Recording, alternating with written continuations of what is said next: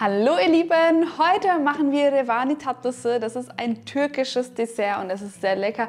Ich glaube, selbst wenn ihr gar nicht so viele Berührungspunkte habt mit der äh, türkischen Küche, kann ja sein, Revani Tatlısı kennt ihr bestimmt alle. Das sind diese äh, Grießküchlein mit Zuckersirup und Zuckersirup ist natürlich auch immer ganz traditionell in der türkischen Küche und daher starten wir jetzt auch damit. Alle ganz genauen Mengenangaben stehen wie immer hier unten in der Infobox. Für den Zuckersirup brauchen wir natürlich Zucker und Wasser und das werden wir jetzt einfach einmal aufkochen lassen. Dann kommt noch ein Spritzer Zitronensaft dazu. Dann weitere drei Minuten lang kochen lassen und dann ist der Zuckersirup quasi auch schon fertig und wir machen mit dem Teig weiter.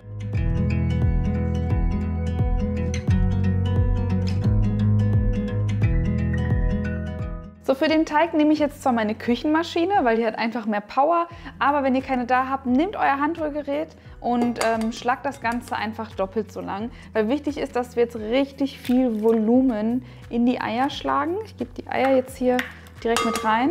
Und Zucker auch schon mit dazugeben. Der Zucker hilft nämlich nochmal, das ähm, nochmal so ein bisschen fester hinzubekommen und das Volumen nochmal zu verstärken. Und mit der Maschine brauche ich jetzt so ungefähr drei Minuten.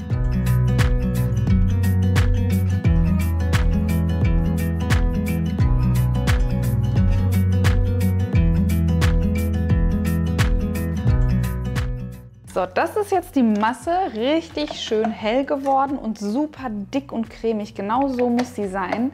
Und da kommt jetzt das Öl dazu und auch schon der Joghurt. Ich habe 3,5%igen genommen, aber eigentlich könntet ihr, auch wenn ihr zufällig 10%igen habt oder 1,5%igen, dann wäre das eigentlich auch kein Problem. Das rühre ich jetzt nur ganz kurz ein, also wirklich nur so 10 Sekunden. Und dann kommen auch schon die restlichen Zutaten dazu. Da habe ich Mehl und Backpulver, das werde ich sieben. Und natürlich Grieß. Und beim Grieß habe ich hier Hartweizengrieß.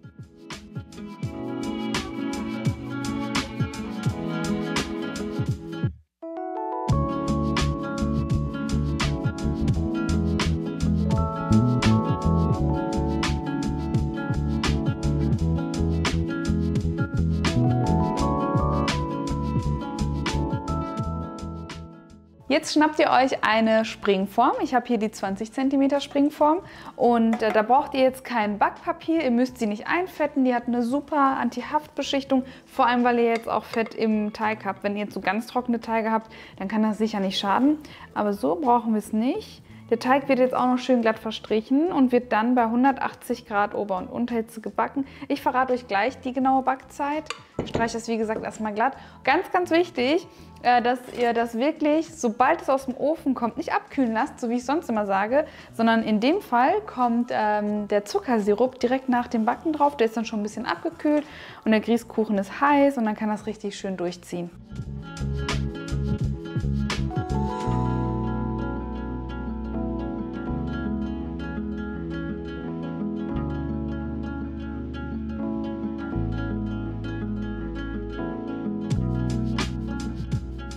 Genau 30 Minuten hat es gedauert und danach, wie gesagt, direkt den Zuckersirup draufgeben. Ihr werdet merken, dass er erstmal gar nicht einsinkt und dann braucht es nur noch so ein paar Sekunden und dann äh, saugt der Teig das quasi komplett auf. Hier habt ihr nur minimal, man sieht es kaum, minimal tritt was aus. Das ist ganz normal, aber dafür haben wir diese Auffangrille. Und ja, so lasst ihr das jetzt einfach auskühlen. Am besten richtig schön durchziehen, weil dann schmeckt er am besten. Ich gebe ihn jetzt für vier Stunden in den Kühlschrank. Ihr könnt das Ganze auch am Vortag machen.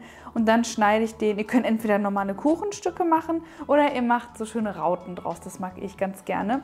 Ja, ansonsten werde ich mich an der Stelle von euch verabschieden. Macht es unbedingt nach und schreibt mir euer Feedback dann unbedingt hier unten in die Kommentare. Und abonniert auch meinen Kanal, wenn ihr keine Rezepte verpassen möchtet. Das würde mich unterstützen und darüber würde ich mich freuen. Und dann sehen wir uns auch beim nächsten Mal. Tschüss!